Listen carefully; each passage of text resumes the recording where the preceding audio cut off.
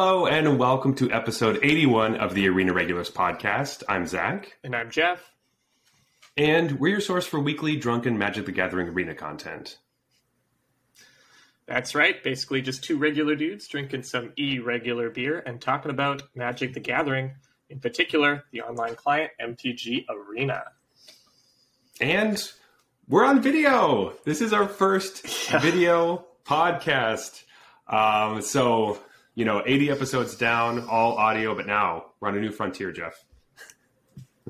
yeah. Um, this is an epic experiment. I'm sure there are going to be a lot of times when we want to edit something out but can't. So, uh, we'll figure it out.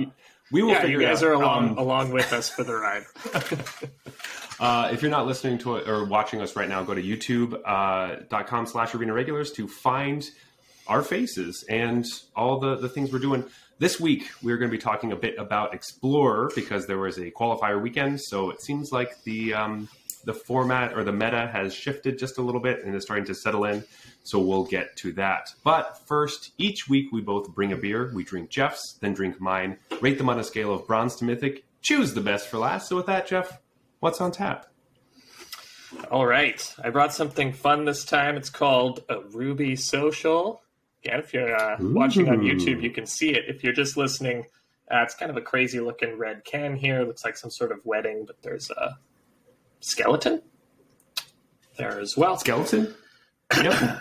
and this is a strawberry rhubarb wit beer. I thought I'd throw Zach a curveball because I read strawberry rhubarb. I'm like, oh no, that's this beer Zach's going to love but then it's a wit beer. So I was like, you know, I'm not sure how he's going to feel about this. Um, so yeah. So why don't we crack it in? Crack it open here. Crack it in. Perfect. That's right. Here we go. Uh, uh, it's already starting. It's already starting. Um, nice. Upstreet. I don't know if I've had anything from these folks, but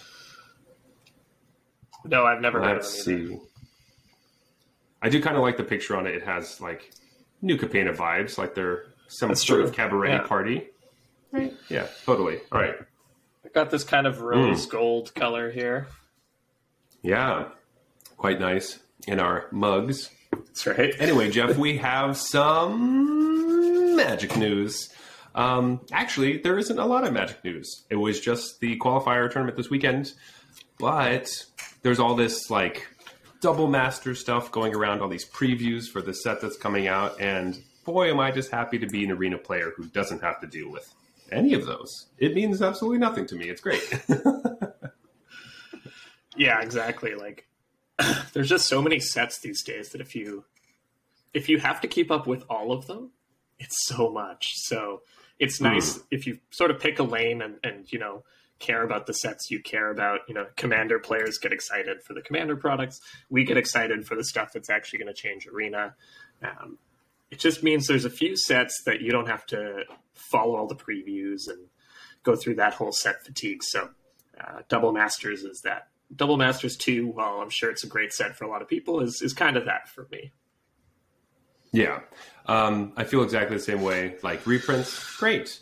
I'm probably not going to be able to draft the format, and I'm just doesn't mean a lot. So, um, with whenever there's a moment where I can take a breath and all the set fatigue, um, very happy that this is one of those moments. All right, so getting right into things and Explorer. Uh, so, Jeff, do you want to tell us a little bit just about this website first that we're going to be talking about um, as we're looking through it? Because you happen to find it. Yeah, that's right. So this is called Playing Explorer. Now, there was a website called Playing Pioneer that was basically, I guess, the go to place for Pioneer deck lists, for tier lists, et cetera, et cetera, um, like descriptions of how a deck works and so on. And naturally, when Explorer came around, they decided to have Playing Explorer, which is playingpioneer.com uh, slash Playing Explorer. Or if you just search Playing Explorer, I'm sure you'll find it. Um, but because, you know, Pioneer and Explorer are similar and probably intended to converge at some point. made sense for these people to to go into it. And I've really liked mm-hmm. playing Explorer. It just has a tier list that they update every single week. So, you know, there are some other tier lists you'll find out there, but I find they tend to just kind of have some random decks in them and it hasn't been updated in a long time. And so some deck that was seemed to be good maybe at the start of the format when the set just dropped is like still labeled as tier one. Uh, this one is not going to do that to you. It's updated every single week, and they their tier list is like a blend of how good the deck is with how often it's played. So um, it's it really is like a measure Oh. of what to what you ex- can expect to play against on the ladder. So if there's some deck that's like really high and you don't think it's that good, it's probably played a lot. And if there's some deck that's you think is good but it's kind of low on their list, it probably is because not that many people are playing it. Nice. Okay. I like that. That makes it a lot easier to to see because sometimes you're looking at tier lists and you're like, okay, well this seems like the best deck, but then everything I'm playing seems to be like really low on this list. I don't know what's going on. Um, so that seems really helpful. Yeah, so if a deck just starts taking over on the ladder, next week it'll be moved up, right? So Nice. you'll you know you can only ever be a week out of date and i think i read that they update on thursdays so uh, those of you watching slash listening to this uh, you probably just got an update to this tier list Yeah, this may be perfect. I'm glad Yeah. they, right off the bat. Let's get Yeah. let's be talking about the, all that the new stuff, right? it's going to be completely different than what we're talking about Oh my god, perfect. All right, maybe we'll just upload this on Wednesday instead, so you get at least how, one. that's how we get ahead of it That's perfect. Um, Jeff, let's start off. Uh, talk about the the S tier, the best deck that is in Explorer right now, and I don't think it's really changed since we've talked about this last. Um, but Rakdos mid range. Yeah. I guess the thing to like mention about since last we talked is just that this deck is still here. Like a lot of the time, mid-range decks with a lot of different answers um, start out the format really strong because other decks haven't figured out their lists yet, and it's really easy to like put all the best cards in a deck and have a strong deck. And so it really preys on people who have suboptimal lists if just every single card in your deck is a two for one. Um, but the deck's still here, so that indicates to me that it, it actually is a real deck. It's not just sort of, hey, playing all the good cards beats people who are playing really bad decks. It's this deck is just a, like good in the format. Yeah. Uh, yeah, anything like it's just full of two for ones, and just the card quality is so strong. Um, and well, the one thing that draws me to this is is I've been playing Kolaghan's Command, and anytime I can kind of squeeze that into something, it's just so I love much fun. Kolaghan's command. Yeah, So, um, but the list that we're looking at is actually running Rekindling Phoenix, which I'm really interested in seeing. I don't know if I've actually seen this card in these these lists, but to be fair, um, this deck tends to uh, destroy me fairly fairly quickly. so um, I don't get to see a lot of the deck. To be fair, they don't need too many cards against me. yeah. This, I mean, this deck is good. Uh, I've seen Rekindling Phoenix kind of popping up, and I think that's Mhm. interesting.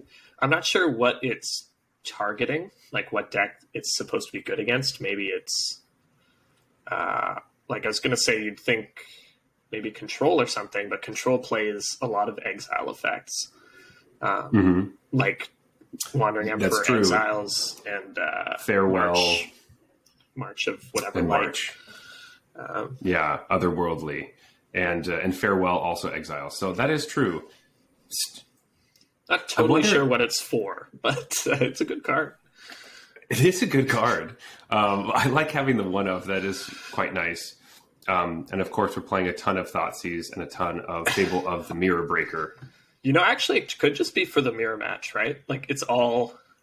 This is all uh, destroy based removal in this deck, hmm and so all of the ex like the all of the graveyard exile is also sorcery speed, so it forces you to like kill it and then animate your hive of the eye tyrant and attack and exile it. I don't know. It's uh, Yeah, that is true. And it does have three toughness, so it doesn't die to a bunch of the the you know all the the stomps and and like we were saying, Kolaghan's command. So I can definitely see that. And if it's the best, you know, you main deck your hate against the the best deck, which is yourself. So that does make sense. Yeah, I don't mind this deck being the best either. um, because it, it's beatable, right? It's not just like if you're not playing red black, you're doing something wrong. Um, I think a lot of its strength comes from being pretty decent against a lot of different things, but it, it definitely has some weaknesses. Like, you know, there's a certain deck that we're going to be talking about after the break that uh, that we have been playing a lot of, and I almost never lose to red black with that deck. So it just shows that like this deck does have weak matchups, and you can build decks that are good against it. It's just like are the decks that are good against this necessarily going to be the strongest decks in the format? It's hard to say. And this deck can always win. There's never going to be like a 0% matchup because it has answers for everything. At, at, worst, it can like thought seize away whatever you're doing. Um, mm-hmm. Traditionally, decks that are good against this are like big mana land type decks, and we don't really have those in the format. So, you know, yeah. there's no there's no like mono green devotion that they have in Pioneer that just has makes so much mana and, and, dumps its hand in the first three turns that you know make these two for ones kind of irrelevant. There's nothing like that right now. So this deck, if you want to beat it, you got to kind of go over the top of it. Um, but there's mm-hmm. plenty of options to do that. Yeah, that's right. The one other thing I just want to say um, specifically about playing Explorer, this website we're using, is that they do have the best of one and best of three um, the lists right next to each other. So it's very easy to compare them as opposed to some other places. It seems a little bit more difficult. So uh, if you are a best of one player, this is a great website for you as well. Being able to see right. it back to back. I do like that, especially when you see some differences. But anyway. I think they have a separate best of one tier list as well, so you can just. Um, but yeah, it's really nice that we came here through the best of three tier list. We clicked on red black, and then we get to see both versions uh, side by side. Want to yeah see the differences. I do have one gripe with red black decks. Um, I just cannot believe. I just don't believe you when you tell me that Blood Tithe Harvester is the best thing that we can be doing in this archetype in Explorer. There's just nothing, no better two drop to be playing than Blood Tithe Harvester. I, I gotta I say, think that card. that card. I don't get it. I I I like it. I like Blood Tithe Harvester. I mean, it's so mediocre. it is, but it's still annoying enough that like it, having the blood around, having the the three two as a real threat that's attacking you, and um, if you're playing a slower deck, knowing that you have to do something about this card that you think is terrible, and having blood tokens which help fill your graveyard for Kroxa has been good enough that I'm like, maybe I don't hate it. And now I kind of like it. Every time I play against it, I'm just like so underwhelmed by it. And I just have a hard time believing that there's not a better two drop or a better thing to be doing. Like, this deck doesn't use. This deck uses the blood token okay. It turns on Fatal Push. I guess it sort of, mm-hmm. like you said, fills the graveyard for Kroxa. Um, I guess you can make the argument that copying it with Fable of the Mirror Breaker can be good in, in some situations, but none of those things are that good. and it's just like I don't know, a three-two. It, it's it's always felt like a three-two to me, and I'm just like, could the deck, yeah, that's just all good cards. This really makes the cut of like best red black cards in the past ten years or whatever. I'm just not buying it. But that's one of the Two best red th- black cards in the past ten years. Two mana, three power creatures, man. Mm.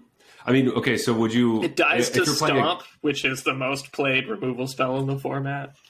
like That's you, true, you drop like... this, your opponent just like stomps it on end step. Sure, but you got a blood token.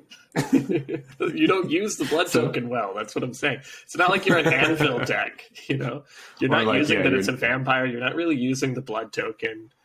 It's too. It's it's too mediocre. I'm, I'm just saying. I think the end form of this deck will not involve this card. Um, it can't even I... like kill something right away. If it could kill something right away, I'd be sold. Like you play it and you you kill their Llanowar Elf, then that would be enough versatility for me. But because you have to kill it next turn, the Llanowar Elf has already ramped them into the card they wanted, and it's just like I just I don't know. There's got to be something better, and th- th- this is like an automatic four of in every deck. I find a little mind boggling. I don't think it's that good. I, I agree. Okay, I yes, I agree that it, maybe four of in every deck, it's not that great, but I still think it's pretty good. I still like it. I'm gonna I'm gonna I- I- like take it a doesn't- look tomorrow. I'm just gonna come up with like five cards that I think are better. Two drops. All right, all right. We'll put that in our Discord. And, But I'm already uh, interested in like bloodthirsty adversary as an option over this thing. I know we play a lot of creatures, but still, stuff like that, right? Sure. Okay, that is. I've seen lists that are playing that card, so um, that does seem a bit better. Maybe two and two. You know, just to just spice it up. Now I'm gonna. See, my my if you- goal is to get rid of all four copies of this card. yeah, but you can use the blood token to discard the spell you want to play with the bloodthirsty adversary. So there you go. Actually, the most common use I've seen for blood tokens is to discard blood tithe harvesters that you draw late. Good thing I had this blood tithe harvester early, so I can discard the extra copies later. Yeah, because this card stinks, so I want a new one. I don't know. I still think it's pretty okay, but um, It's definitely you also okay. play a lot more. It's definitely okay. All right, perfect. Well, let's um, let's move I into also raise an eyebrow at Sorin, but don't get me into that. I think Sorin's pretty me- mediocre too. Yeah, I actually I agree with that. I think Sorin's really not my favorite. I should take it out of more lists that I play because I never am that happy about it. Um, but anyway, let's move on we, to another. Why aren't we playing four Chandra before we're going to three plus one? But anyways, Anyway, let's move on to another Rakdos list. Um, the Anvil one. That's okay. So in this deck, do you like Blood Tithe Harvester and Rakdos Anvil? I don't. I don't even play it in my version of this. Really? yeah, Not even. but I, Wow, I am okay. more willing to accept it in this. But the list is really tight. You want like four of a Mhm. lot of different things, and for me, Blood Tithe. Uh, like I'd rather play more one drops than that, that's usually why it gets cut because it's a two drop. That makes sense. And you know, double color, and you're already trying to do double color with. Um, you'd much rather play your your Anvil. Uh, takes up that spot. That makes sense. And this list is agreeing with you and has none of them. So Yeah, this list is pretty why you like similar to what I do. Um, Mhm. I don't play any Kroxa either, though. But yeah, Oh, I, I you think know- the like I you like have to try to build too. the deck. Do you like Kroxa? Yeah, I mean, I like Kroxa as a card. It's just so hard to find slots in this deck because you like look at this list. It's not even playing four cats, which uh, to me is crazy. But you need like okay, you got your cat, you got your oven, then you got anvil, then you have to play uh, mayhem devil. You're pretty much always going to see four experimental synthesizers. Like we're already up to just 20 Mhm. cards, right? Um, Thoughtseize, okay, I, I don't play Thoughtseize main deck in mine, but Fatal Push is Mhm. pretty much a must-have. You're going to have some number of meat hooks. I think two is pretty common.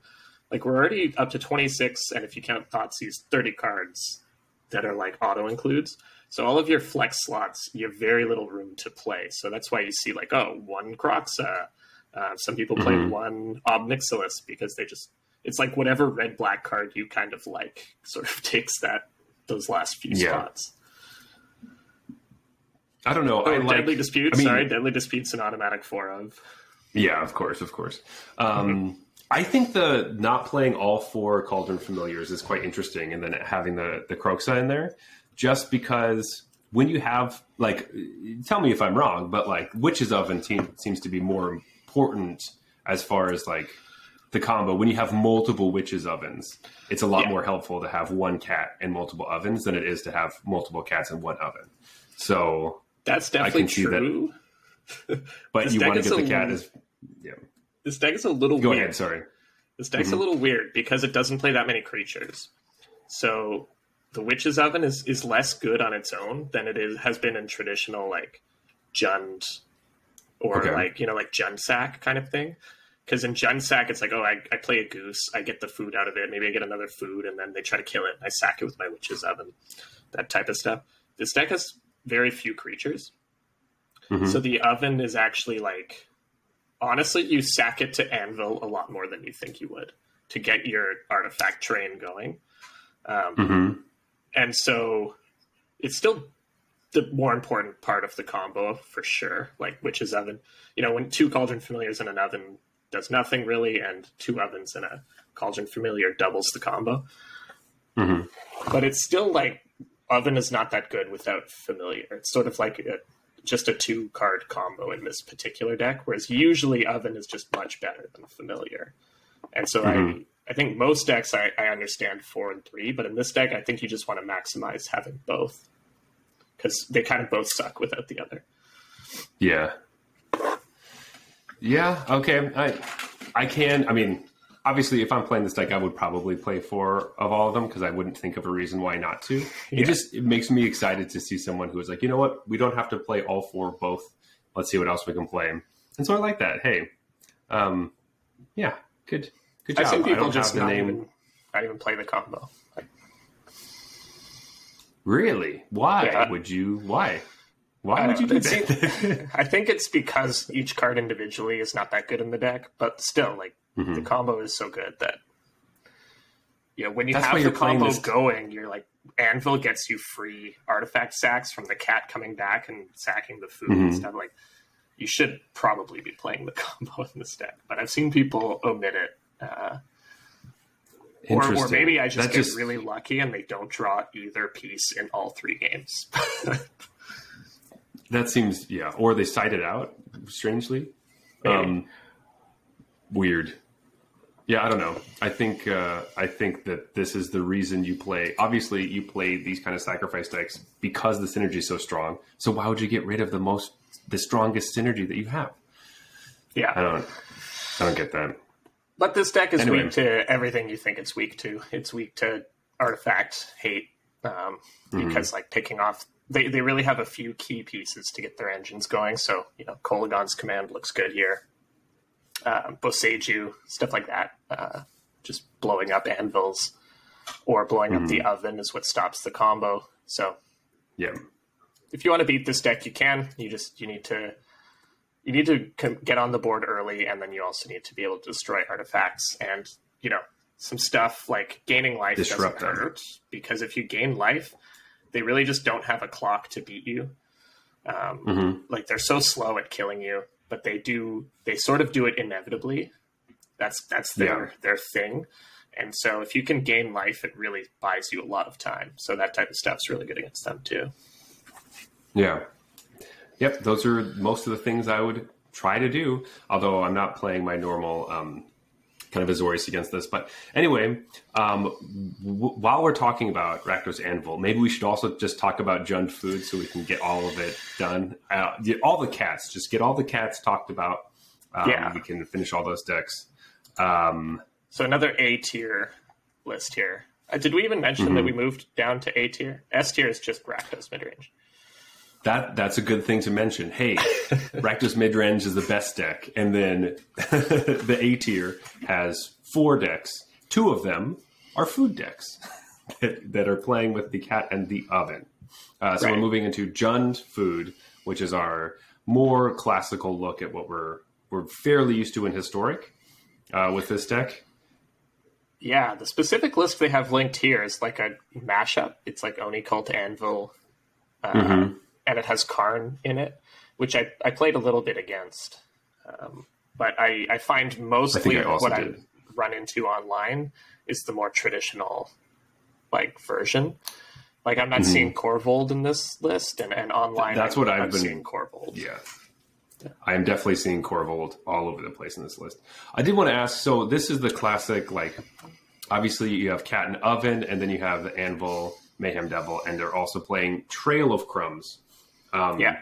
So I, and obviously we've been talking a lot about cats, so yes, sure.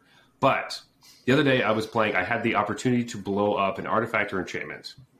And I was looking at the three things that were on board. They had one oven, one anvil, and one trail of crumbs with no cats. There was no cat on the board or in the yard. And I was thinking, what do I get rid of? I don't know. I need to get rid of something, but I wanted to ask you what what did in that situation, what do you think would be the most important to get rid of? That? Did they have Anvil going? Like, were they No. okay? So I- I, think they didn't have any food or blood out. They were like it was just like those three permanents, and um, I didn't see the combo in sight. So I was like, do I go for do I blow up the oven because that's the thing that I would be most worried about at this moment.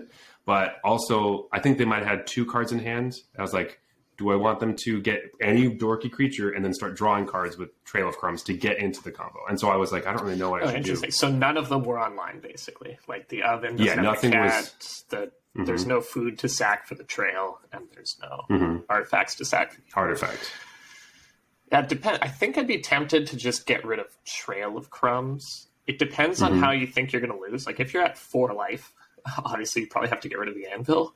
Um, hmm but if you think you're going to lose by like getting out grinded, outvalued, it's got to be Trail. That that card draws like so many cards, and they don't need to do that much to get it going. Like, hmm that's the one that's most snowbally if they find a gilded goose or something, you know. Yeah. That makes sense. but it's it's I would- definitely like the kind of thing where you're going to destroy one of them and, and you'll die to one of the other two and you'll be like ah, i should have killed that one but there's no real way i mean i guess if you know that you've exiled all the cats out of their deck or something like it changes the equation right but like, Yeah. But that was definitely yeah i think that's one of Yeah. those situations where you're you're you're guessing you're guessing what the top of their deck's going to be Okay, good. That makes me feel quite a bit better because I was like, I don't know what to do. And I was like, you know what? I'm going to kill the anvil. I think that's what I did. Um, I can't remember if I won that game or not, but um, I'm fairly positive I did not. that's when they Uh, like immediately slam gilded goose yeah, into draw card into cat. And I'm like, great. good, good, goose sack it reveal cat play cat um, Next thing, two turns later, you're at one, and they have eight cards in hand. And you're like, what have I done? But you probably would have died faster if there's the anvil. Who There you go. knows? I want to Um, call out the specific list we're looking at though, because it has three witches oven and four cauldron familiar. so, it's just made the exact opposite decision of what we talked about previous day. That- I didn't even notice that.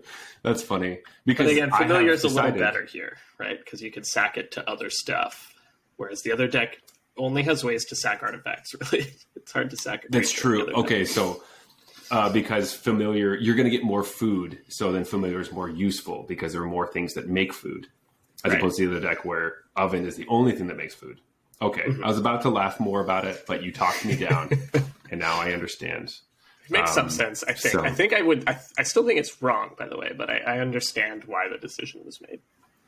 Yeah. So if you're going to play a sacrifice deck, are you going to play Rakdos or Jund? What are you gonna What are you gonna do? I think I've been playing a lot of Rakdos early on in the format, and then I haven't played Mhm. any Sacrifice. And just from what I'm playing against, I think I would play Jund. I think I'd just play Korvold Jund. Honestly, I, I Mm-hmm. Wouldn't be playing the Anvils. I wouldn't be playing Karn the Great Creator, and I'd do the more sort of traditional Korvold thing.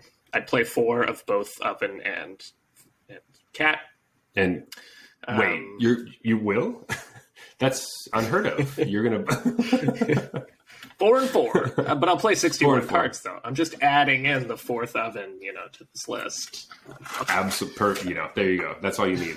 Um, no, I think you're right. I think playing Korvold uh, is also the way I would want to go. Um, that usually, if I'm playing and someone like turn two is a Trail of Crumbs or something like that, or you know, turn one Goose, I'm like, oh man. Um, Right. I'm usually not happy about that situation. Uh, That's I- the it best could be test, residual. Right. Yeah, yeah, it's it's the test of the grown test immediately. Like, oh, this is going to be so annoying. No, Oh, not gilded goose. yeah, exactly. Like, oh, there's going to be a trail of crumbs. I'm going to draw cards. So um, I do think that this is better. And when Korvold's going, you're like, oh, okay. GG. Yeah, Like, uh, yeah. So, yep. All right. There you have it. Jund's better. Jund is much better. All right. yeah. Okay, so The other A tier. Yeah. Yeah, Bring us into the next. A tier deck. All right, I really want to talk about. There's one I want to save for the final A tier deck to let you talk about. Okay.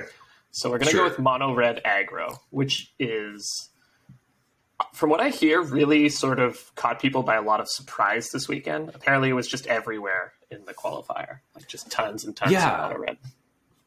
This is a deck that I wasn't. I was thinking that it was just not doing it. Like we have seen it come up, and you know, the the closest thing that we have seen really is is historic, at least on Arena.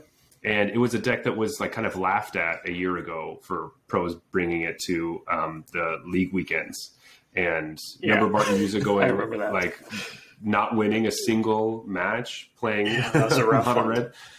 So um, I since then I've kind of written it off, being like, this is not the best. It's not. Um, it, it's just there, but um, but no. After this last weekend and hearing a lot more about it, it seems like this is this is a deck you got to watch out. They are going to snipe you.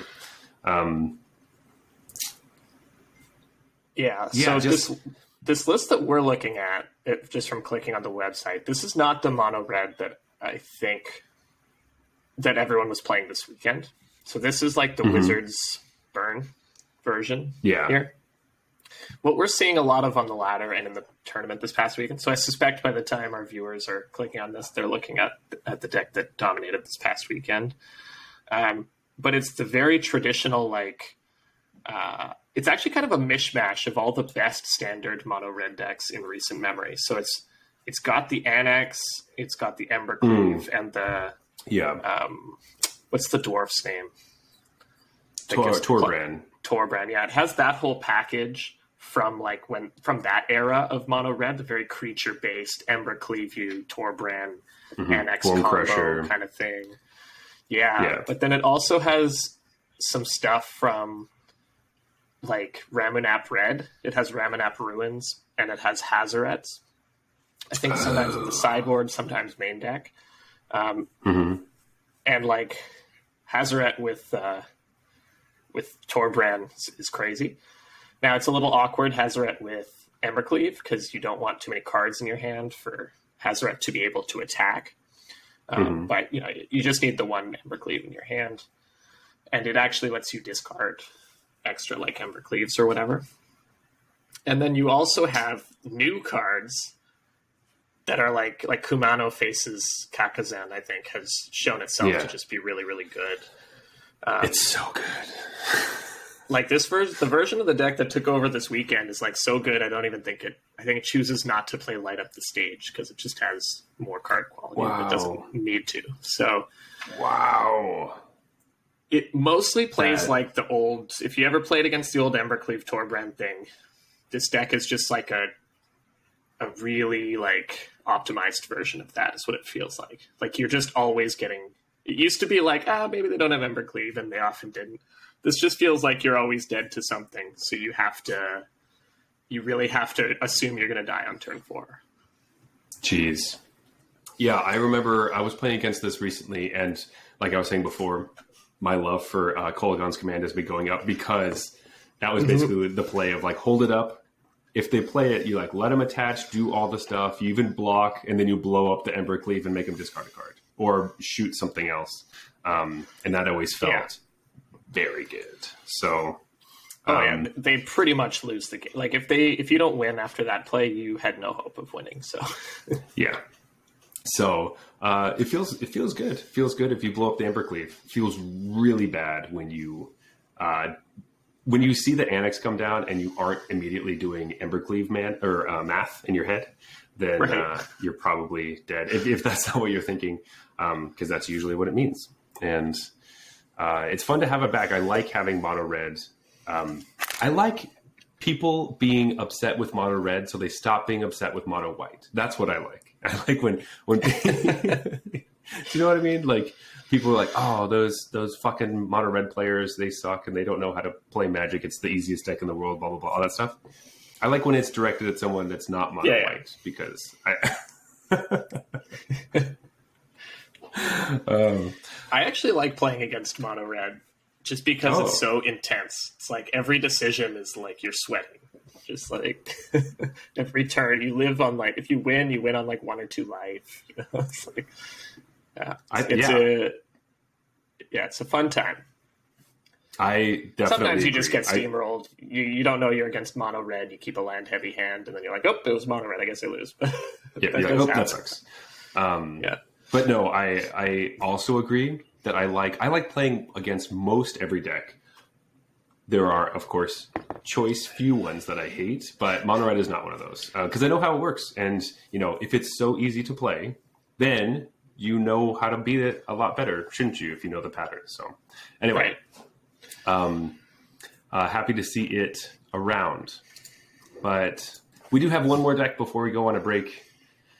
And uh, Jeff, you wanted me to talk about this one. Why is that? I don't. I don't understand. I think you're the only one with any experience in this uh, in this area. So. uh, yeah, so we are talking about Mono Blue Spirits is also a tier deck. Ah, yeah. Mm, love to see that. Um, this is one of my favorite decks. Uh, this list is close to what I've been playing, um, but it's been a it's been a minute since I've actually um, dusted this off. I was I was playing it a lot. Um, the, the like about two weeks ago, and then I this last week I haven't played much of it, but it's very close to what I was doing. Um, and yeah, this is just like you're doing a tempo, mono blue tempo stuff. You're flashing out your spirits um, and using specifically rattle chains to be able to flash in something, save one of your other creatures from a targeted removal spell, and then play all your spirits at flash, speed, counter everything that tries to disrupt you, and win with flyers in the air. It is a, a, just a great, just a great, great time. Um, I am wondering. So, I don't think you, this this deck is playing Snowlands and playing Faceless Haven, which oh, so nice to have Faceless Haven not banned in standard. Yeah. Having it being an Explorer is, oh, I forgot how much I like this card. Um, but specifically, the spirit that I've been, it's been the card I've been trying to figure out what to do with is Ascendant Spirit, which is the mm-hmm. Kaldheim Snow Spirit that I know you don't like very much. Um, have has that changed? I don't know. I remember you you were saying how much you didn't like that when it came out. Um, do you still hate I, it? I don't hate it because it's hard to hate something that like matters so little to you. You know, like, it's just it's just not a part of my life. When my opponents play this on turn one, I am generally happy because that means they're not end stepping the uh, sailor. Mm-hmm. Like what I don't want to see from this deck is turn one sailor on my end step, then untap Curious Obsession and Spell Pierce. Mm. Whatever I do. Now that's still possible if they're on the play with Ascendant Spirit, but it gets a lot harder, right? Like I might play a tap land or who knows on turn one, or they get to hold up Spell Pierce for my turn two or something and play the Sailor. Mm-hmm. this deck just has that dream draw of Sailor, untap, obsession and then counter everything you do for the rest of the game. Um, yeah, the amount of hands is I a lot. Like it happens. Yeah, it does happen because the amount of hands I keep that is one snow covered island, the sailor, and Curious Obsession, hoping I will draw into my other ones is very high. If you're on it's the play, I think you keep that for sure. Yeah, you have to. Um, me bringing up this this snow ascendant spirit is mainly because I also don't like it very much. I do not enjoy putting mana into something that will just get blown up, um, and it's very difficult because usually you're choosing between powering this up or playing rattle chains, and you need to do both. Um, right. It can win games, but uh, what it's really great for is soaking up removal that I don't care to counter um, right. which is not really a good card in your deck if you're hoping to play it and then be like, you know what, it just dies. Um, yeah. That shouldn't be a card you play. Um, so I'm actively looking for other cards I can play instead of this. It's kind of like the Merfolk Wind Robber of the deck, where it feels yeah. like I have to play it, but I don't like it. Right. there's um, nothing better. yeah, there's nothing really better, so I still play it. Um, but I'm never happy if it's going to be my turn one play. Usually, yeah. Ugh. Right, like people talk about holding up the mana. Oh, it's good with you hold up counter spells. If they do nothing, you you pump this, and it's like that's so different than flashing in a creature though, because like oh, my opponent pumps this on their end step. It's like perfect. Now I fatal push it. Like mm-hmm. okay, I just like got one mana. My one mana fatal push traded with three of your mana now, and so yeah. it's like yeah, I, I get that you can hold up counter spells and only pump this on their end step but how much would you rather be playing a flash creature on their end step than putting more mana into this? Um, like yeah, you, you, don't want to use mana on this in the early game, so you really want to only use it in the late game. The early game, you want to be countering stuff, you want to be playing stuff, and then this isn't necessarily a go super long deck. That's not how you win. Mm-mm. So it just does. It's a fine card on power, I guess, but I've just never really seen it be good. Um, yeah, the, I've never lost to was... this in games that no. I wouldn't have lost to any other one drop. I remember it being helpful, particularly in one game where I was playing against mono white. So then they were trying to attack me with Thalia, and it's just if I always had two mana open, I was like, "You won't attack me," and gaining that much life was helpful, um, just because they know I can, you know, block it and pump it. So I killed the Thalia, but it it never felt actively good. It just felt like it was helping me for this very weird situation. Um, and so I agree. I think that yeah, it's just if I ever win with this card, I was already winning, and I just happened to win better or more. So right. um, I don't I don't think there was ever a situation where I was like, oh sweet, I can finally pump this to its max level, and then I attack in the air and they can't block. That's never never happens. Just never happens. Yeah. And I feel like this card got a lot worse with Wandering Emperor too, because it's like, oh, on your end oh, step, oh, I, I pump this, and then it's like, okay, Planeswalker. Planeswalker exile. exile it. It's like, whoa, that is bad. I really should yeah. have tapped out on on your end step. Oh yeah, exactly. So you really need to make sure that you, if you're ever doing anything with this, like you literally can't have nothing else to do but pump it. Like if you could play a rattle chains, play that or any of your other. And, and even then, sometimes bluffing a counterspell is better because your opponent won't play the Wandering Emperor if you're holding if you're mono blue with three cards in hand that didn't do anything. like, yeah, there's, there's so, no way they're playing it. yeah, um, which is probably a lot better for you. Anyway, um, this deck is super awesome. I'm glad that it's getting the what it deserves. It's a tier deck. It's a really good deck. Keep playing it uh, we need something that's not red in the top five decks. So having something fair, some, some, people would put blue white control up here, but I'm guessing like, it's just not popular enough on the ladder to be to be here. No. And hey, play mono blue tempo because you can still have a good fight against uh, Azorius control, which is actually a bit more of the metagame than um, than we're laying onto at this moment. Um, but anyway, Jeff, with that, do you want to go to a beer break and get some more beer? I'm almost done. Okay. This beer break is brought to you by our patrons over on Patreon. That's right. You're already supporting the show just by being a listener. Watcher? But if you want to support the show even more, Patreon's the best way to do that. And when you become a patron, you get an exclusive invite to our after party, which is a mini episode recorded immediately after this one, where we uh, ramble on about just some other non magic things. Yeah. Plus, if you go to our Patreon and subscribe, you get to vote on your favorite co host. The button to vote looks just like this.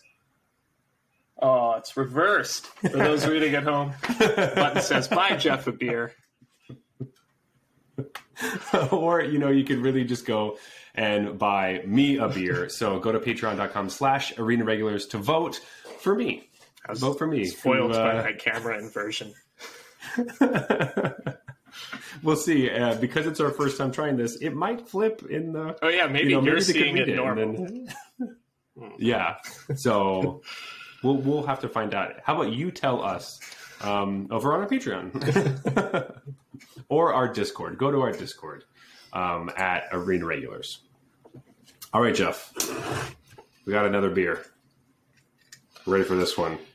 You know, the tough part about being on video is after so many years of pretending to drink beer, you know, we, now we actually have to do it because people can see. All right, Jeff, here we go. Let's crack these. And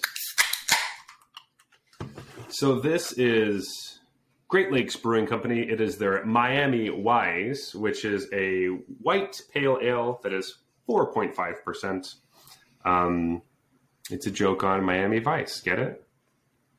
Get, do you get it? No. Do you get the joke? I need you to explain it. Oh. I will not explain it. Perfect. Um, Great. You know, uh, this one also has a serving temperature. It says between three to five degrees Celsius. So that sounds a lot more normal. See that I can do. That I feel like if, if it's in my fridge, it's going to be what three, four degrees. Um, so that's plausible. The one that's Yeah. like seventeen or sixteen it's like I need like a wine. It was 14. Fourteen, yeah, that's It was that's 14. so unreasonable. It's not even just like my basement. You know, that's that's like I need a, a room where I can set the temperature of the room. yeah. Okay. All right. well, anyway, let's cheers. Let's drink this and then get get get get get it on. Perfect. Mm. Okay, Jeff. We had just finished talking about the A tier decks. So let's talk about some B and C tier ones, as well as some ones that we've seen on the ladder slash in events, and a sweet deck we've been playing. That's right. Um, but let's should we save that to the very end, I think so. we? Maybe pr- probably. I mean, I think that's the most fun. Um, the one I want to talk about right now is I'm sure on a lot of people's lists, and it is playing two of the most played best colors in Explorer, which is Mardu Greasefang. Okay. Um, Greasefang, I know a lot of people are okay. I, I can I can tell you're hating that this or hating this deck are really upset with it. I see a lot of people complaining about Greasefang all of the time, um, and I don't understand why. It's such a cool deck. I it was the thing I was most excited about when I saw it preview in uh, Kamigawa that Greasefang could do this sweet thing with Parhelion two. I'm just happy that's continuing to do that and is uh, still pretty good. Yeah. So Though, Go- uh, well, go ahead, give me your two cents. The way you said that, though, made me really want to hear what you're going to say. So uh, let's delay Hmm. it, though, for a second. I just wanted to, to chime in and say that I'm pretty sure every single one of the people that hates Greasefang, when they first saw the combo and thought that it wasn't going to be a good combo, thought it was awesome.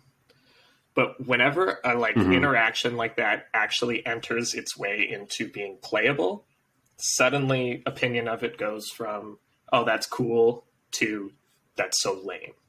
It's funny; it just happens like a Mhm. switch. If the deck sucks, then it's cool.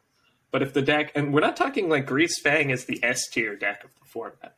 We're talking like it's a real deck Yeah. that you should think about, you know, how you're going to play against it.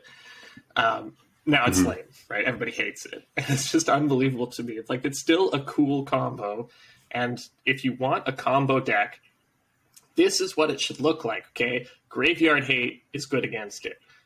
Instant Speed Removal is good against it. Like hand disruption is Even- good against it.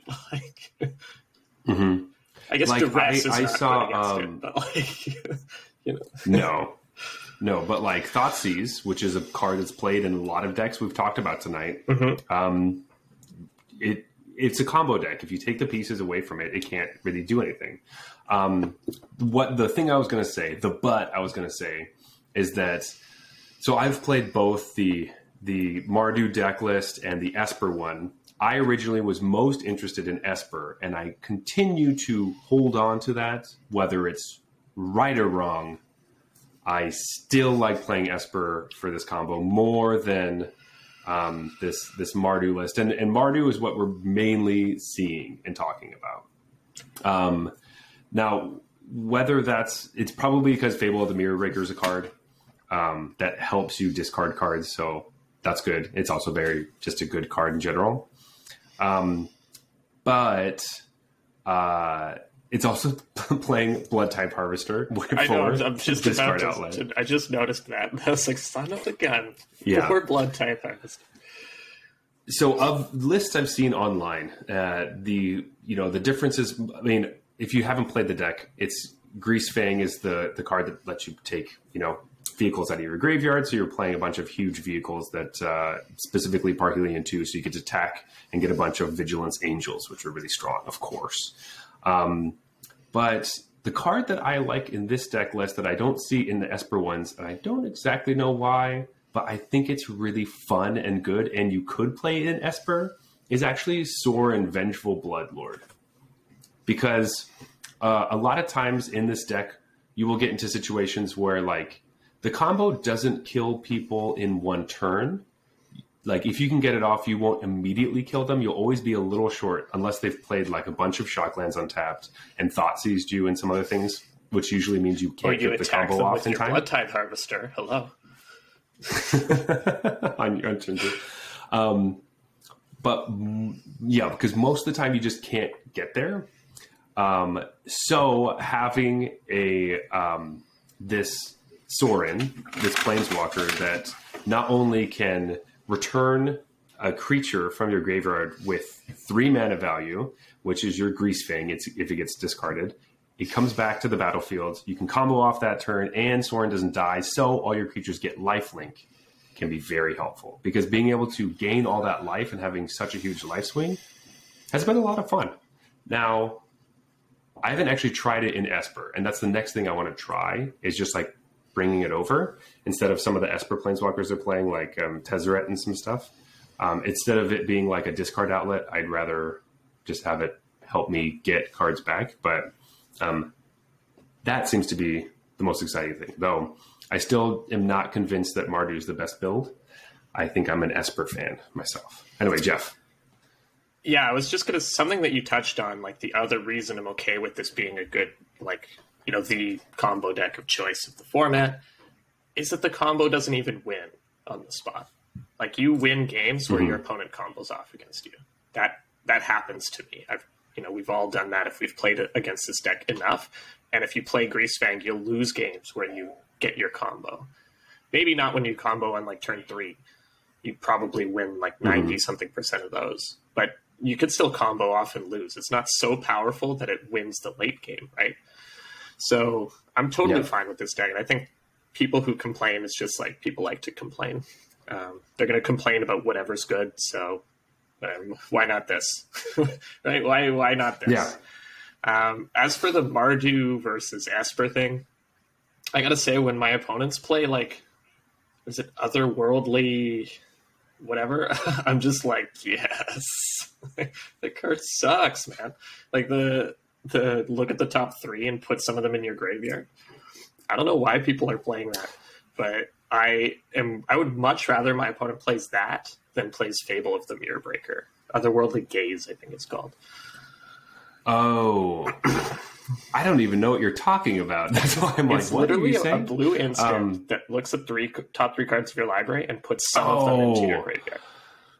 Oh, that piece of crap from that was terrible in that draft It looks like it should say to tell me draw a card good. at the end. A lot of people assume it says draw a card at the end, but it doesn't say that. No, it's just okay. No, yes, that. yeah, see, I definitely like Faithful Mending. Um, is a card that I've wanted to be good for a long time. Um, and then playing Thirst for Knowledge because obviously that is just perfect for what you're trying to do. I don't know. These cards, they just seem like If I were playing, I would start with Mardu. I think Fable is just too much to to pass up on. It's like obviously one of the best cards in the format, but also perfect in this deck. So Yeah, I mean, yes. It's just so hard because I I I like having spell pierce. I just lean on it so much in other decks that I, it just makes me feel good when it's around.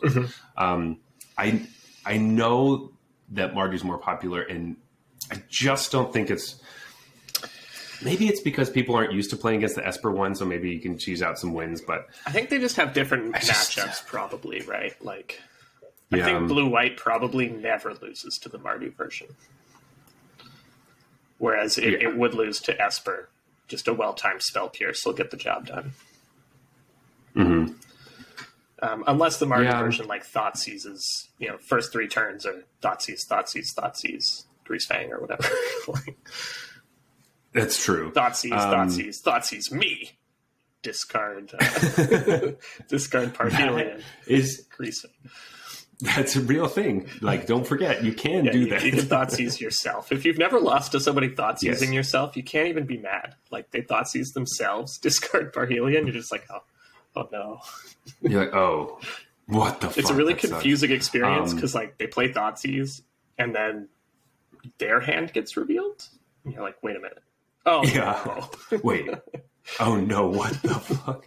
Um, I was really happy because I was able to cheese out a game that was going very very long. I was playing Mardu because I wanted to test it out if I liked it. Um, now the cards that ended up getting me to the place that I was really excited weren't necessarily any of the red cards, so I still think you could do it um, in the in the blue version. But basically, they had like uh, extracted all of my grease fangs from my deck uh, in some way. Uh, I can't remember exactly what, what the card was, but um, all I was left with on the board was like, I guess technically I had a goblin token. Okay, so I had a goblin token from the uh, the Fable of the Mirror Breaker, but um, I had been able to hard cast my Parhelion 2 while I also had unlicensed hearse on the battlefield. So what I was doing is exiling their graveyard, and then I used the goblin to crew the hearse to then crew Parhelion and then attack for the win. And they didn't see that line, and that was nice. that was nice. goblin jumps in a car, then jumps into an airship. I guess. Yeah. Attacks them, but um, that was a lot of fun. I uh, I, I like that, but overall, uh, I think this deck is sweet, and please try it. I don't know. Like- it's it's the classic. If you think a deck sucks or you hate it and everything about it, play it. I mean, this one's a little bit harder because there is some wild card restrictions.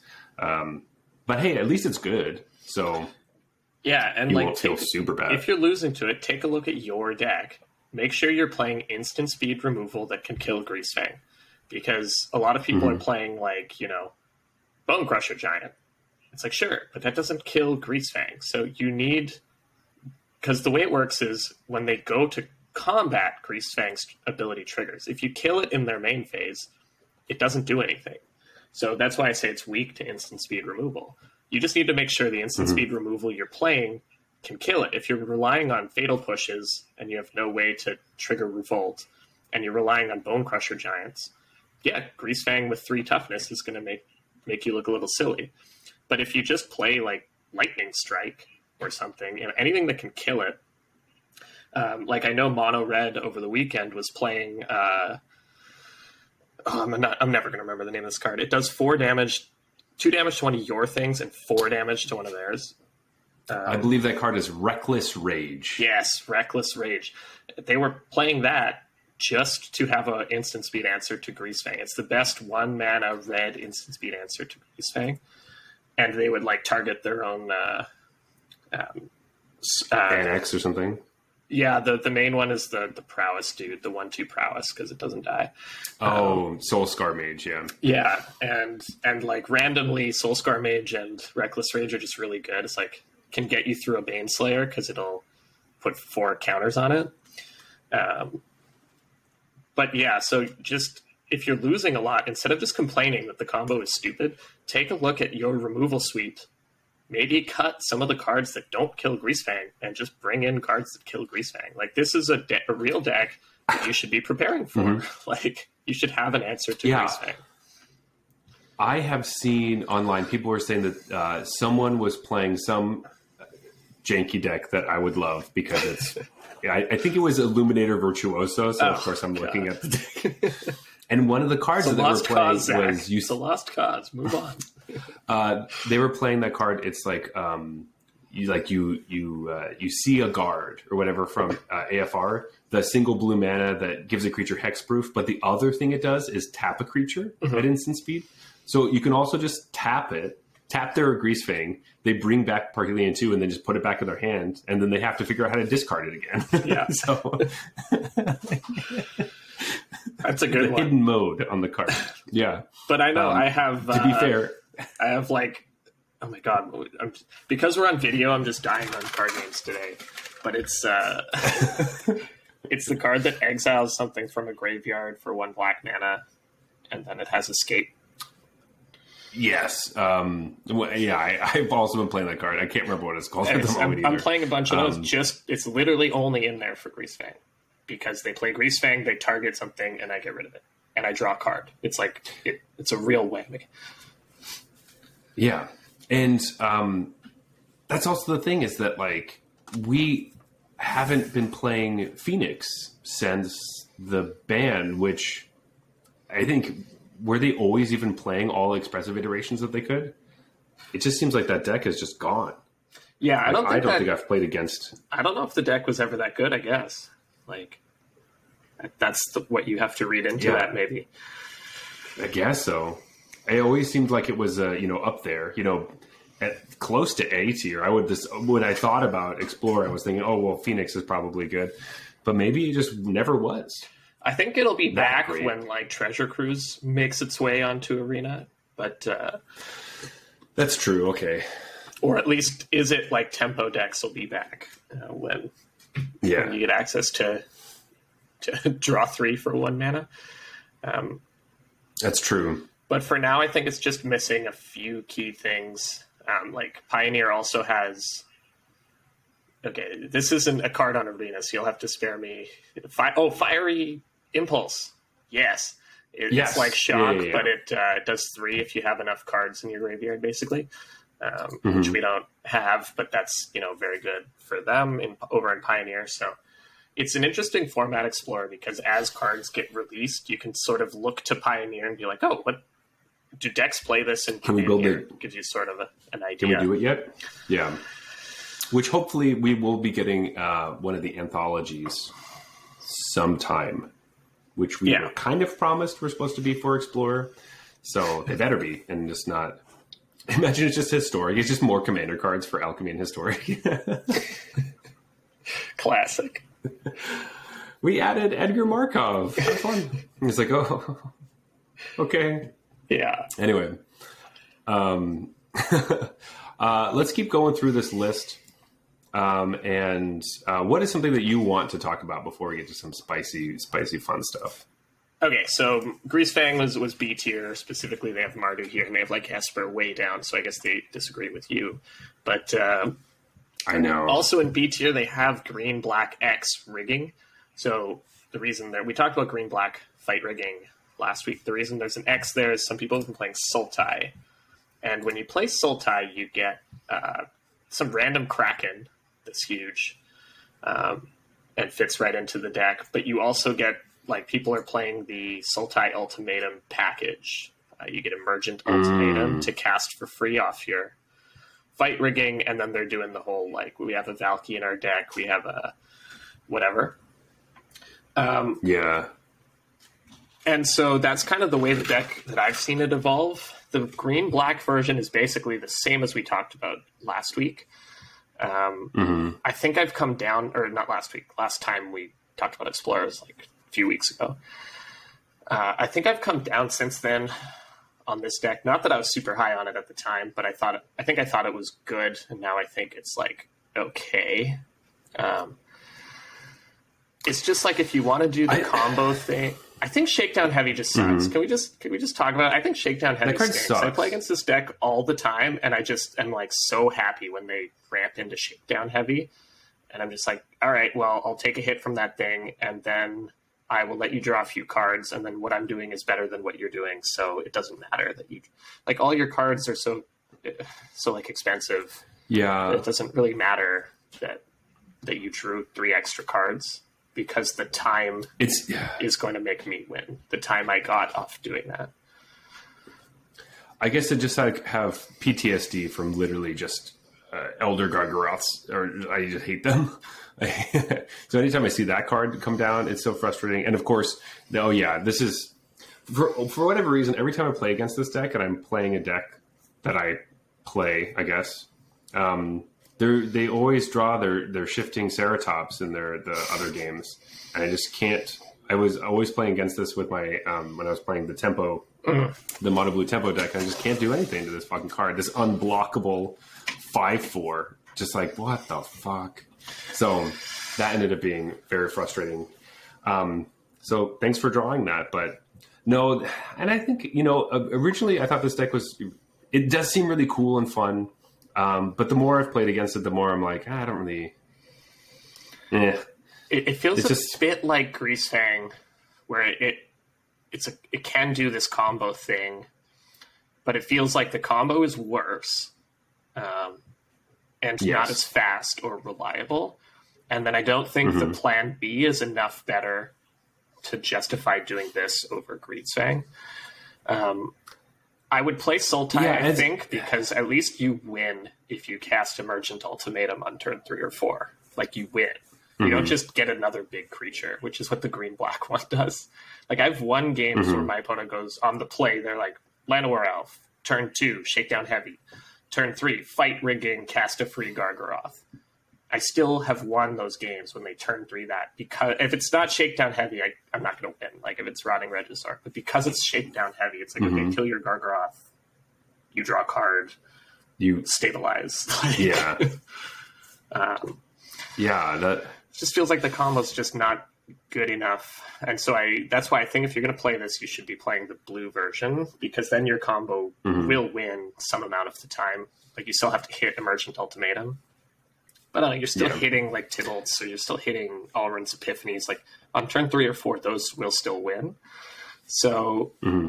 I, I just like another big creature, even Titan of Industry isn't an auto win on like, turn three or four. So Okay, so do you like Titan of Industry? Do you not like Titan of Industry? I need to know. The people need to know, Jeff. I hate it. Okay. I know I, I had a little foray into it. I thought, oh, okay, it's kind of cool to get it on turn three. But then I lost some games where I got it on turn three. I was like, all right, I was right. This card is the worst. Okay, good. Should never I'm doubt glad. myself. Titan of Industry. Titan of Industry is the worst. Good to know. Um, I do think it's the the cute thing with Rotting Regisaur and Shakedown Heavy. If you have them on the battlefield together, is kind of cute, where you're drawing cards and then discarding them. Um, but overall, um, I still think Hideaway is just not always good enough. It's just pl- playing something for free, and you don't always get what exactly you want. It's just kind of a thing. I don't know. And to be fair, they have this in B tier, and I think that's fine. Like B tier, C tier, and it's Mm-hmm. Going to maybe bounce around between there. I think some people have this in tier one, and that that's what I can't get behind. I think it can, it's still playing enough good cards to just be a fine deck, but like, Yeah. I just don't think it's I think they're just they're big dummies. it's not consistently doing good things enough. Um, yeah, I think it's they're doing they're doing big dumb stuff. right, and it's just Maybe like, it's just that I'm just I, I I think I'm down on it just because it's an emotional thing. I'm down on it because I just don't think it's nearly as cool anymore. It's not the hot deck as like this exciting thing, and so I'm like, meh. So maybe I'm being like a dick the way that we were talking about Greasefang players. I no, I don't think that it's hard for me to justify so it, it over Greasefang right but- now. That's that's one.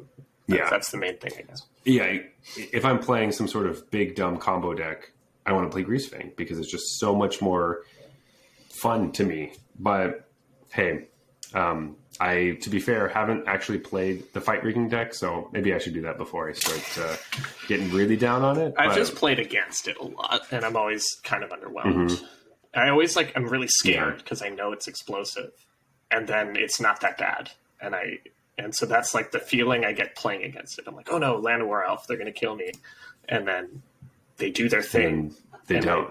I am still in the game. Like I'm not saying I always win when they combo or or like I win half the time. Like if they combo in turn three, I'm probably losing most of those games, but I'm winning enough of them that it's making me question the validity of the deck. Yeah. There you go. Fight rigging. Um, perfect. Uh, we talked a bit about blue white control before. Uh, This list has it at C tier. I'm skipping over uh, a deck um, for, for the time being, just wanting to talk about blue white control because it is something that you know we've been talking about a lot of different decks. We talked about combo, we've been talking about aggro, and a bunch of like mid range stuff. But there is a control deck in the format, and I, like we were saying before, think that this deck is a, is actually a bit higher than what the list is telling us at this moment, um, because it can do work, and you need to remember that it's around because it's playing Wandering Emperor and, and all the normal And stuff Teferi. Um, yeah. and Teferi, which is the the amount of times I've also been playing some of it, but like the amount of times that like you play Teferi and then people just concede, like people just if if that hits the field, they know that they're dead, so they like immediately like save themselves some time and just stop playing. Yeah. Um, And, is realistically, what I want them to do. if Teferi resolves and you don't have an answer to it, you probably lose. Yeah. Especially when you just don't have anything on the board. Or right. Like, if you can immediately kill it, you're still like uh, like you still got two for one. And, but that's like the best case scenario Mm-hmm. for you. If it resolves, you only get two for one. Um, yeah. Yeah. Um, this list we're looking at in particular has four Fumigate. I've never once seen anyone cast Fumigate, but uh, I think Yeah. I think people like differ on how exactly their list looks. But I know Gabriel Nassif's been playing a lot of this, so if you're interested, I would go check out his stream. And yeah, Mm-hmm. if I'm going to trust someone on Blue White Control, it's going to be uh, Nassif. Uh, so I would that's where I would start if I really wanted to play Blue White Control. I would just find his list and copy it. Um, but yeah, I think the deck has so many tools. Um, like March of Otherworldly Light, it's very good. Wandering Emperor and Mhm. Teferi, that's enough to win the game. I don't think you need to play more win cons than that. Um, like other than your Yeah. lands. Uh, Memory Deluge, great card. Like there are just so many cards that are very, very good. Um, so it's nice to see blue white at a really high power level, individual card power level, because sometimes that's where it loses. Is like it just doesn't. Its cards just aren't good enough. Uh, hmm and so it's you know like any control deck, if you can tune it against the meta properly, uh, then it's going to be good. I'm I'm curious about how this beats, like whether this beats red black or not consistently. hmm I think maybe you have to build it to do that. Um, Maybe that's why. Yeah, I don't know. Like their sideboard plan is like rest in peace, I guess. Um, if there's any cat shenanigans, but like I just, I don't know. yeah, I, I'm a little. Yeah, it doesn't. This particular list Yeah. we're looking at, I don't think beats red black. I'm sure like Gabe Gabe's list will have. You know, he he knows red black is is a big part of the format, so he'll have some uh, answers to it. I think I've seen people play like uh, Dream Trawler as a way to beat red black. Oh, Which, to be fair, I don't know is- how red black beats that card. So yeah, it probably can't. Um, the one, as always, if you're ever playing, if you like are playing against this deck, um, the best rule of thumb, if you're not used to playing against this, is play as if they have Censor in their hand all the they because they always have Censor in their hand. Always. They have Censor. Yeah. Yes. Even if they cycle one, they have another one. Just you know, just play around Censor uh, as much as you can because it that's what makes you really tilted. You can play against the deck fairly well if you don't get censored on turn two or three. Just don't let them do that, and then you'll be oh, you'll thi- feel a lot better. Whether you win or not, I don't know, but like you'll feel a lot better about your life. I think the most tilting thing is getting censored on like turn eight when you had a land in hand and you just didn't play it. Yeah, and the amount of times you see that in the pro tour, and they're like, "Oops," you know, and then they play the land because you're thinking like, you know, obviously we're playing with shock lands. You're like, "Do I want to shock this out? No, I, I'll just play it tapped later." And then you get got by sense. You're like, "Nope, I should have." Ah, ugh. Because you're thinking about so many things against this deck, right? You're like, oh, they could have Wandering Mm-hmm. Emperor, they could have Shark Typhoon, maybe they have Holding Up Memory Deluge. Um, you know, what if they untap and slam to Fairy, and then you just get got by Censor? That's what happens. So, yeah.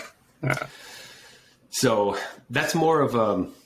I mean, whether it's really important your game plan, obviously you don't want to get your spells countered. I, this is just an emotional thing. You will feel better if you don't get got by Censors. So sometimes it's right to I- play into how- Censor, but like, it's right in terms of, you know, strategic win percentage. It's not right in terms of how you feel No, in your life. always hurts. Yeah. Always. So Yeah. that's how I deal with this deck. But blue white, I think, is good. I'd expect to see it, especially as you move up. Like if you're in lower tiers, you might see less blue white, but players in higher tiers tend to like blue white control uh, more than Mhm. players in lower tiers. So just be cognizant when you you might hit that wall where you just start to run into a lot more blue white, and then you'll have to think back and be like, "What if they told me not to do?" Oh yeah, get censored on turn two, pass. Yeah. yes. That is that's our main thing. Uh, Jeff, is there another deck you want to talk about before we get into the spicy brew? No, I think let's uh, let's move on to what uh, you and I have both been playing. Actually, Yeah, we've been alluding to it the whole episode. yeah, the, Um, the. I mainly get to talk it up. I get to talk it up a lot because I wasn't the one that built it. It was Jeff, um, which is always just so much fun. And uh, so, yeah, Jeff, do you want to tell us about your your deck? All right. Well, it all started long, long ago.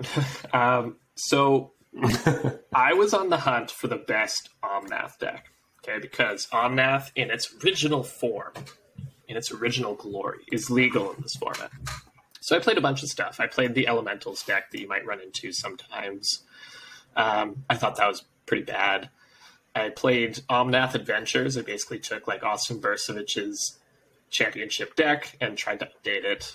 Um, that was also pretty bad. I felt like like I think there was room to to work with it, but yeah, it just felt like Yeah.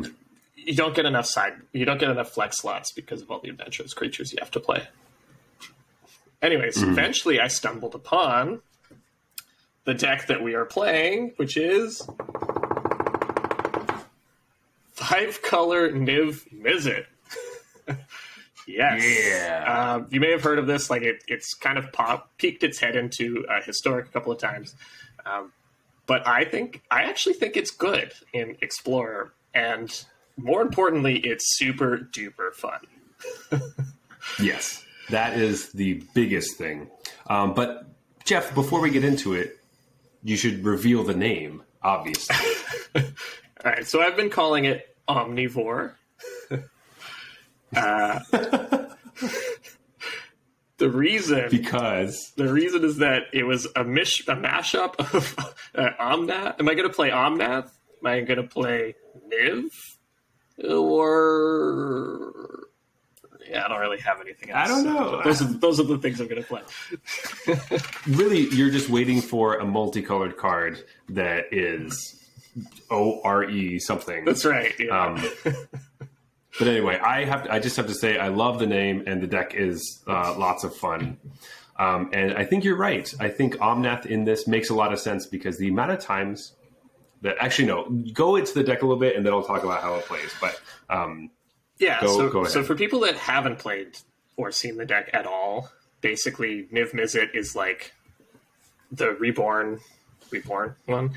Um, yes, it's one of each color. It's a six six flyer, and when it enters the battlefield, you look at ten cards and get to put one exactly one from each color pair.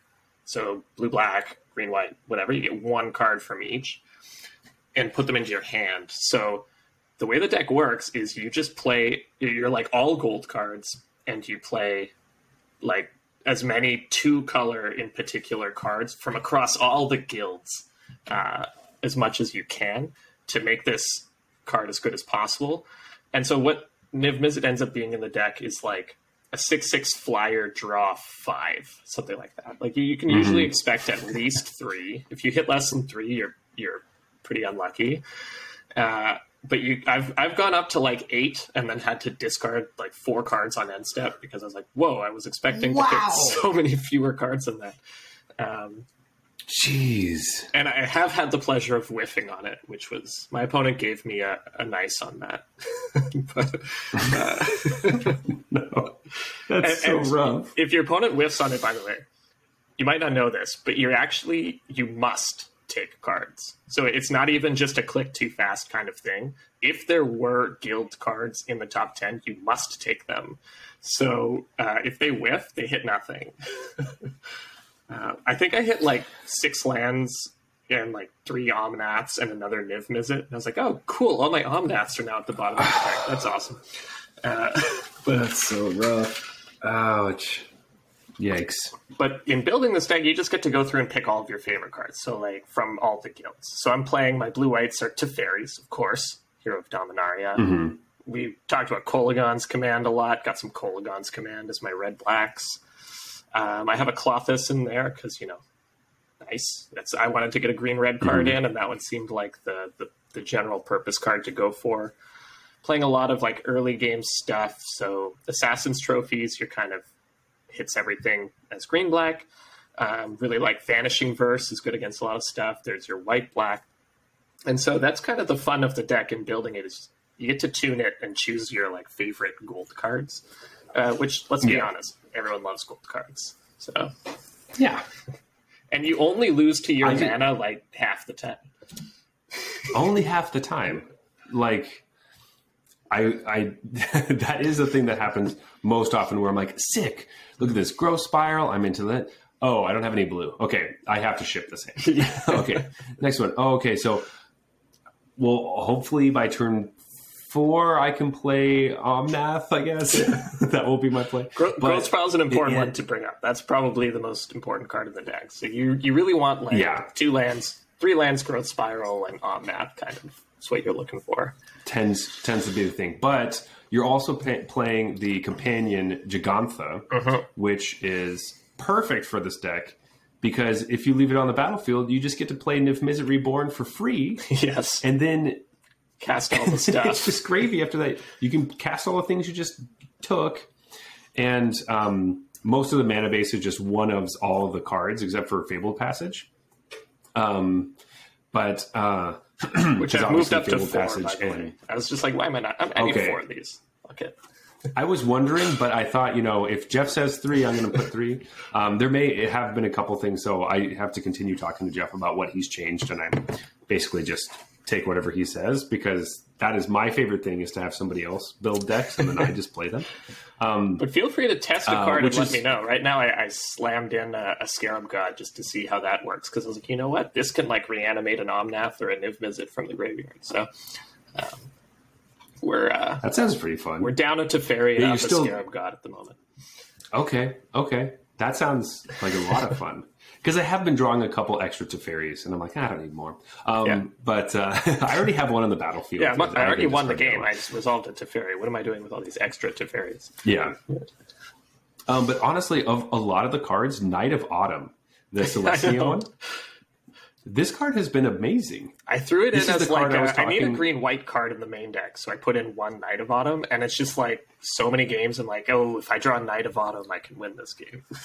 Like- Yeah, that was the card that I was talking about earlier when I said I had to choose between uh, the Right. artifacts or enchantments because that is the mode you use most of the time because it is the thing that you need to do for the best decks are always playing these artifacts and enchantments you got to blow up. Um, even if you're dealing with fight rigging, you can blow up their fight rigging, things like that. So having that flexibility from that card, I I just always enjoy it. You know, when this first came out, I was always thinking like, oh, plus one plus one counters are the best, but really destroying artifacts and enchantments right now in this meta is Mm-hmm. and, and with mono awesome. red, like honestly, a two one that gains you four life has been, or in the, if you Yeah. draw it later, it blows up Embercleave, but like earlier it or Anax blows up Anax, but it's like earlier it's just like two one gains me four life. It's really good against mono red. Yeah, I, I was playing there. We didn't talk about it, but there's like a humans deck that does like cocoa stuff, and it's kind of like mono white essentially, but with Coco. Um, and um, just being able to like play this and uh, gain four life, and then have a two one that's going to trade with whatever. I'm like, amazing. That's exactly what I needed right now, and it only costs three mana. Mm, beautiful, love it. Um, It's not It that good tons against of black mid range though. It's just like a four three or a two one that gains you four life, uh, or you blow up like uh, one of their all important blood tokens, I suppose. But That's true. Um, I but guess hey, you know, it's only one of the Fable. cards in your That's deck, nice. so that's true. But like most of the time, I'm not even playing. Like I have other things I'm doing, so um, that's fine. Maybe I'll just take that turn to ramp or, or whatever. Um, So it's never happened. But I just- in in theory, playing a two one that blows up the Fable and then can trade with the two two Goblin Shaman is like fine, right? because it does everything that you cleanly took care of Fable You're with one card. just down a treasure token. Like that's pretty good. Most things get They smoked by into it. Fable in terms of like how, how much you have Card to trade advantage. for. That's true. That is true.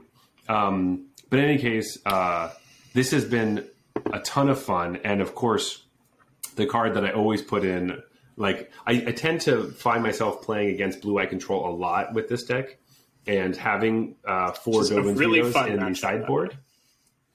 It is a lot of fun, uh, but Dovin's veto is so fantastic that having a deck that actively wants that card specifically because it's gold is awesome. And because um, they already love it uh, playing like aggressive Azorius decks and having that tool against control decks. So it's a ton of fun. And when it goes off, it goes yeah. So it, there's nothing better um, than like the old Omnath Fabled Passage Niv Mizzet or Omnath Fabled Passage Teferi. the best thing, like I love having the Fabled Passages to hide certain cards from people because they're not expecting it, or just the classic, you know, play Fabled. You know, you have um, um, you play Omnath, play a Fabled Passage, and then go fetch up a Black Source, and then when that enters the battlefield, then you get the mana to play the Niv Mizzet. It's crazy, yeah. Sometimes it's you've so, already drawn the swamp uh, or something like it's in your hand, and you're like, ah, now I have to play yeah. Teferi for instead of uh, the Niv But the sweet, yeah. The, the control matchup play, is super fun because it's often like, do you have more counter spells than I have must counter threats? Let's find out mm-hmm. because I have five. Yeah. yeah. anyway, it also kind of made me come around on Assassin's Trophy, which is a card I wasn't playing much when it was around. Well, people are ever. skimping on basics, so uh, it's mm-hmm. even better than like in this deck. I think it's it's necessary because you need to be able to kill anything. Like it's, yeah. I'm always holding it back for it to Teferi or something that uh, Vanishing Verse doesn't yes. hit. But it also mm-hmm. hits lands. I think a lot of people don't realize that it hits lands, so it can kill like I love when my opponent goes to animate um, the uh, Hall of Hall Storm of Giants. Storm Giants before it before it has ward. Yeah, you blow it up. yeah, buddy. Yeah, I love that. I love that. Yeah, that's so good. Um. Anyway, uh, yeah, this has just been a, a, sweet deck. It definitely costs some wild cards, but if you have your mana base and a lot of the cards that have been out, um, you should check it out.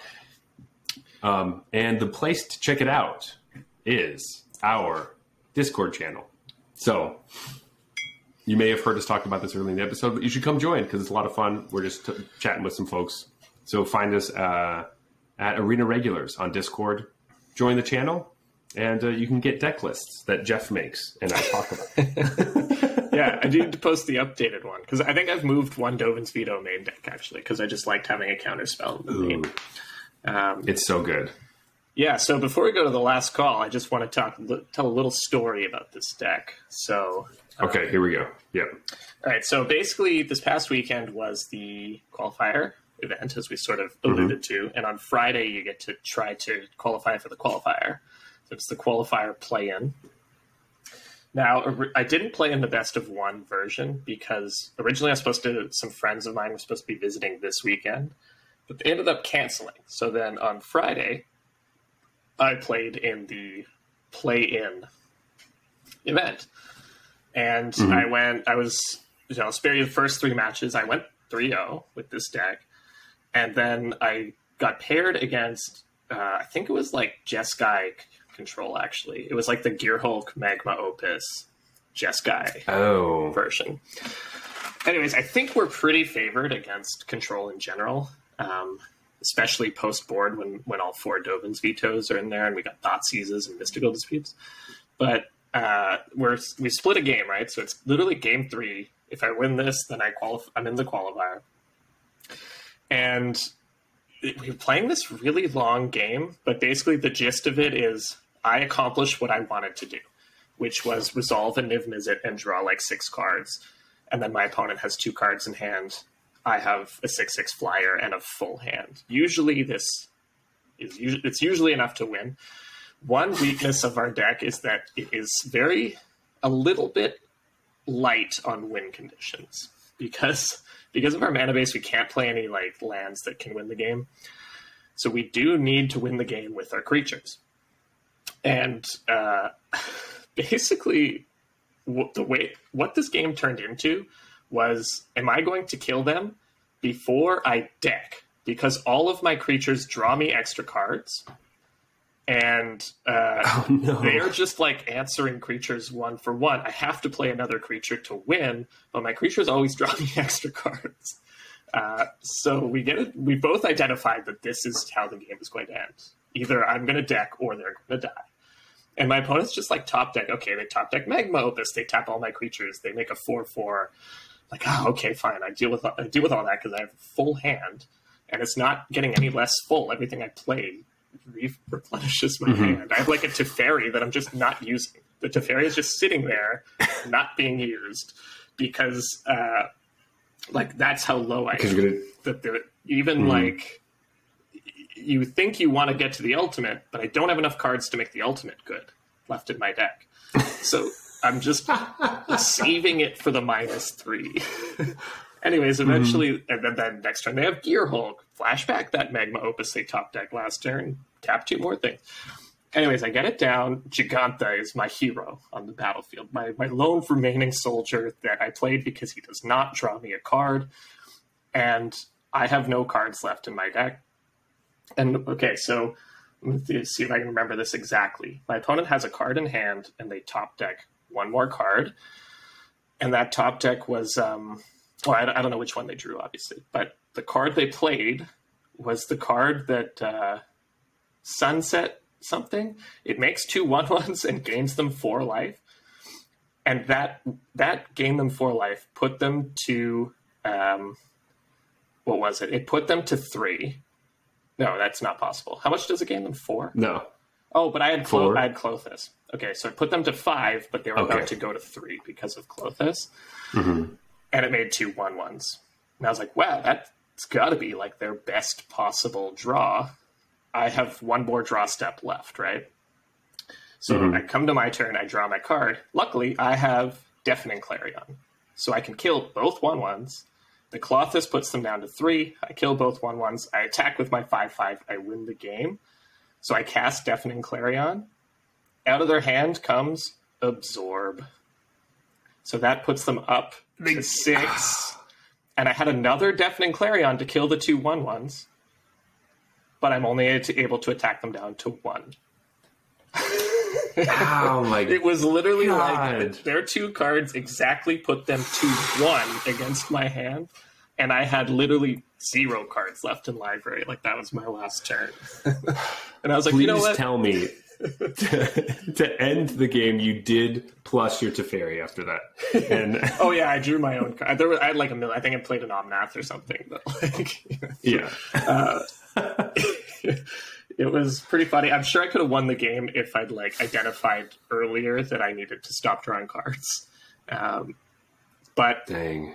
I think back to that. I was like, you know what? If you're not going to make it, that's how I want to not make it. And I also really, really hope that my opponent was three and zero, and that was their Mhm. winning in. Because now in. they have the reverse story of me. This like awesome Yeah. story of how they got in. Right? Like, Yeah. Wow. That's crazy. Oh man, that's awesome. Oh, I I mean, bummed. Yeah, obviously, I'm sad that you didn't actually make it into the uh, the qualifier. But I was what a good story. I was so sure I was going to win that game, and then I started to like, maybe I'm not going to win this game. I got to be careful. Uh, and then the sunset. Yeah. I don't even know what. The, I don't even know why that card was in their deck against me. It's not generally good against me, but in that situation, boy, was it exactly what they needed. Yeah. the, the seven life with absorb and that was exactly enough to. Because I guess they were at one That's so before. so- upsetting. yeah, yeah. Let's see. It's um, it's uh, yeah, Sunset Revelry. Mhm. Yeah. Damn. But they were Anyway, a Yorion deck, I guess. um, they probably just couldn't take everything out. That's that's true. They just need more cards. um, anyway, Jeff, let's move on to last call. Mhm. Um, as always, uh, we are rating our beers on a scale of bronze to mythic, just like the tiers in Arena. Isn't that funny? And um, we're never talking about what tier you are in currently. We're just talking about uh, rating beers because it's fun, and having a tier system like this is just it's just nice. So don't feel bad that we are going to say that bronze beers are trash. They're horrible. You can't even finish them. You have to throw them away. Silver beers are beers that don't have a lot going on, essentially macro brews or equivalent. Yeah, gold beers are fine, but you probably won't really drink them again or really think about them ever again. Platinum beers, one step up from that. They're super solid. You would drink them fairly often. Diamond beers are exceptional. You really like them and you recommend them to your friends. And Mythic, this is the best of the best. You will not stop talking about them. That's right. All right. We have two beers here. Um, do you have your beer chosen? I'm holding both of them in my hand right now. I think I know which one I liked. Um, are you ready? Yes. All right. Here you go. Three, two, one. Miami Vice. Miami Vice. Yeah, that's right. Is it Vice? Miami Vice? I say this as like a German W with a V, but uh, All right, so that does make a lot more sense than what I said earlier. Perfect. So it will be Miami Vice. I think that is perfect. Um, you should have introduced this beer then. Damn, making me look bad. Um, anyway, you so did this call is the out one the we're Miami drinking. Vice pun, so at least we got that. I, well, that's true. Yeah, uh, I thought it was obvious, but it's even more obvious the way that you say it. So um, it is the White Pale Ale uh, from Great Lakes Brewing Company. Um, it looks nice. Anyway, let's talk about it, Jeff. This beer. Yes. Um, I still have a little bit left, so I got to taste it. Hmm. Give us your. Okay, I'll I'll start. So, um, I think it's nice. You know, uh, it's it's there's nothing going on that is too I don't know aggressive. Um, it seemed very cool, just like the colors in it, and um, yeah, it kind of felt like a pale ale. Um, I don't have too much of of any sort of wheat, which is great uh, for me. That's not what I'm looking for. Um, so I don't know if the the play on it really really works into that sense, but um, I know.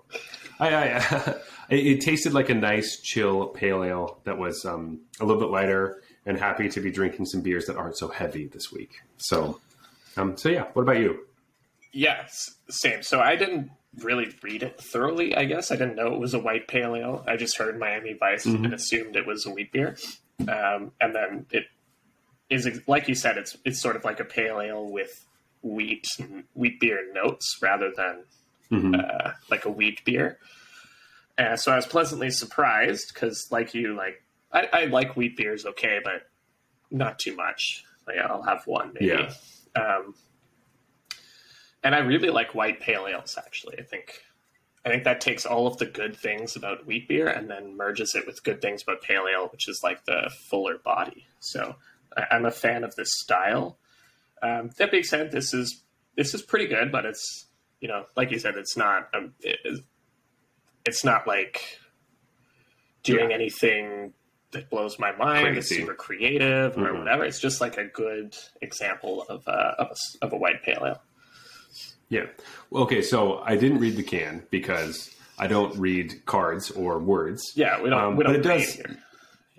On the back, it specifically says, "Okay, we're busted. We're calling this a Weiss, and it's not, or a Weiss." Sorry. okay. Um, they just said it's an American style. Uh, that's a take on a German wheat beer, so it's a pale wheat, but uh, it's really it's not that at all. It was just something the marketing team came up with. So um, there you go. I love that. That is the they also say they've They never been to to. Miami. perfect. There you go. Um, but this feels um, good. I don't know, Jeff. Where are you gonna put this? I think this is is pretty good platinum for me. I think. Yeah. I'm gonna give it. I'm gonna give it platinum. I think it's low platinum. I, I'm not in love with it, but uh, I would have it's. Um, I would probably. I would have it again. I don't know if I would get it again, like buy it, but Mhm. like, um, if I saw it, I might. Maybe if I wanted to make a joke, I would use the name to joke about something. But anyway, Marketing team um, wins again. marketing team always love that. Um, Rhuby Social. This guy you brought the strawberry rhubarb wit beer. Um, It was okay. I think my favorite a- thing about this beer is that it has like a Mhm. beer profile and uh, experience on the can. I like when they Yes. include these. So it says not too hoppy. This thing. It's tart. Yeah. But then the experience, it says you want this on a summer patio. You can you can Mm. pair it with favorite spicy Asian dishes, or you can listen to uh, classics and standards while you drink it. I, I particularly Ah. like when they go a little crazy with that experience section and suggest like outlandish, make outlandish suggestions. Whereas this is like more serious. But I, I just like the, the, those little. I think that gives me more uh, character of the beer or of the brewer than Yeah. like a little blurb Yeah. about it. So I kind of like that. Mhm. Um, as for the beer itself, it's it's fine. I don't know. It was yeah. Yeah. it, it had some sweetness from like the strawberry rhubarb, I guess. And I guess. I guess. Um, this is gold, low ish gold. yeah, this is like Maybe. undisputably gold. I think it's just it's fine. Yeah. I probably won't drink this again. It's fine. I like that it was brewed in PEI. I don't think I don't know if I've ever like knowingly drank something from PEI before now, but Okay, that's nice. I um I should read the cans more because I definitely didn't look at either of those things beforehand. but um, but yeah, I, I would probably drink some of their stuff. I would try more things. Um, but this wacky, crazy beer uh, was uh, not super wacky. It was uh, it was okay. yeah. Um, all right. Anyway, those are our ratings for this evening and for the end of our first video podcast. It's a milestone. Um, it's a milestone. We're just racking those in. Um, so it is now time for closing time. You can always reach us at Arena Regulars on Twitter and Instagram, as well as Discord and YouTube. Yeah, you might see us on MTG Arena itself. Our username is Arena Regulars Podcast. If you see us, give us a nice, give us an oops, maybe even a sticker. Yeah. Uh, you can find me personally at Zeulberg, that is Z E U L B E R G, on Twitter and Instagram. But Jeff, where can they find you? Uh, I have Twitter. It's at Bluesbrews MTG, B L U E S B R E W S MTG. And please leave us a review on Apple Podcasts, on Spy, Spytunes, on iTunes. Uh, follow us on Spotify. Uh, leave us a review there as well. You can subscribe to our YouTube channel where you're watching this right now. Leave a comment and tell us what you thought um, or just any questions that you had. And of course, we've said it a million times already, but join our Discord. Um, we would love to have all of you a part of that community because if you're listening to this and you're this far into the episode, you're probably pretty chill. So we like you. This has been the Arena Regulars. Reminding you that getting your turn two play censored feels real bad. So the way to avoid that, take those Bloodtithe harvesters out of your deck. Good night.